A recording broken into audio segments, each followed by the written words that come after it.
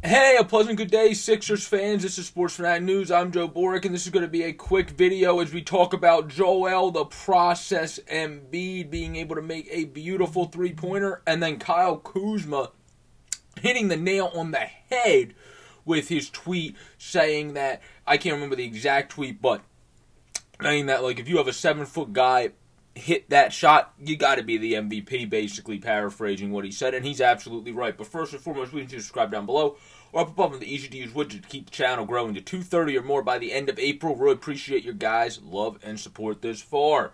The Sixers, Tyrese Maxey, balled out again, 19-4-101. He wasn't as sexy in this game, and uh, he he even knows that, but he was able to find his time and find his groove. Uh, Tobias Harris was definitely off in this game but that happens. Uh, he was good in the first two, bad in this one. Uh, he still was able to get 12 rebounds, though, so he figured out a way to help the team in a different facet when he couldn't really get going at all, score sheet wise. Um, and then George, George Niang added nine, so he was okay. Shake didn't do anything in his 10 minutes. Paul Reed played a solid eight minutes. So that's why this game, you didn't have the depth, and that's kind of why it took a comeback and a routing in the end to to have this team come back. Obviously, Toby missed that weird hook shot. Excuse me, that weird hook shot at the end there uh, that would have ended in regulation. That was an odd shot. The shot in general is an easy isn't a particularly easy shot, so I'm not going to get overly on him on it. And people are probably going to be surprised because I usually do get overly on Tobias Harris. It could just be how Holly Jolly I am because of getting the privilege to color commentate the Royals, having them win their playoff game, coming back, listening on the radio, and having Tom McGinnis go nuts because of the Sixers, then watching it when I get home. The, a lot of things are going right, so it could just be how Holly Jolly I am in general that I'm not annoyed at Tobias Harris as a whole yesterday. But either way, I, I'm not.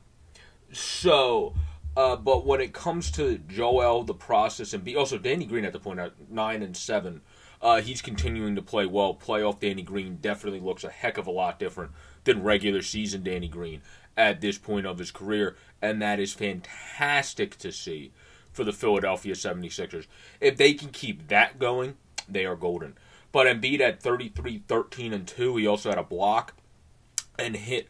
Now, Doc Rivers, uh, people know I don't do as many Sixers videos on the channel, but when I do, I have kind of been critical of Doc at different times. Uh, well, in this series, not so much, and in the regular season, I was. So maybe postseason Doc, just like postseason Danny Green, is the best level. Um, because that was a great play call. Having him, like I said in past videos, not play Thybulle much in the first two games, knowing you won't have him for three and four, was a smart move. So Doc Rivers seems to be mending the fences in terms of maybe somewhat with the fans now. I know he is with me because he's definitely performed a hell of a lot better, a hell of a lot better in the postseason than the regular season this far. Now, this is only three games, and and he helped the team make the adjustments also, which I didn't see as much in the regular season, to help uh, not prevent to help pre- um, prevail that comeback, I should say, yesterday. So I think all that put together is Doc Rivers being much better in the postseason. But again, it's only three games. It's only three games from this team. But I think it's a great three game sample size because they smoked them in two, found out a different way to win in game three, having a comeback victory, and then Joel the process Embiid who better win the damn MVP. Nikola. I understand Nikola Jokic has good stats, but let's stop doing things just by the damn stat sheet. If you watch basketball, like, and I'm not even like basketball is my fourth sport, and I'm the one saying this. So what the hell's wrong with people that actually vote on it?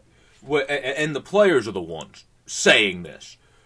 Embiid should be the MVP. Jokic is fantastic. Don't get me wrong. He's a triple double machine. But guess what? He's only good at offense. The only reason he ever has decent defensive grades in certain games is he's big as heck. And so obviously he's going to get blocks and defensive rebounds. It's not because he's good at defense. He sucks at defense. Joel Embiid is fantastic on both ends. He's fantastic as a scorer, fantastic. And even sometimes when he has to pick up guards, how many centers do you know when they have to pick up a damn guard that they actually guard them really well? Uh, like, to me, it's just pure stupidity, honestly, um, by the writers. And I know I'm somebody that wants to grow in media and be in the writing and stuff, But I don't need to be someone that ever votes on that stuff because I think those people are wrong here for the time anyway. So I would just be calling them out half of the time, just like I'm doing right now. Um, the it, it's stupid. It's baloney. If if if Embiid doesn't win the MVP, it's rigged against the Sixers. It's hundred percent rigged against the process, and Markelle Fultz has it right. If Joel Embiid does not win the MVP, it is rigged against the process, and you heard it here. Not here first, because multiple people have said it, but you heard it here that it is rigged against the Sixers process that has worked. And guess who's imitating the process but just happens to have a better star at the helm while doing it? The damn Oklahoma City Thunder. They just don't care because they're not a big market team. But anyway, peace out, everybody. Stay safe. Let's get a sweep Sixers. Peace out and stay safe, everybody.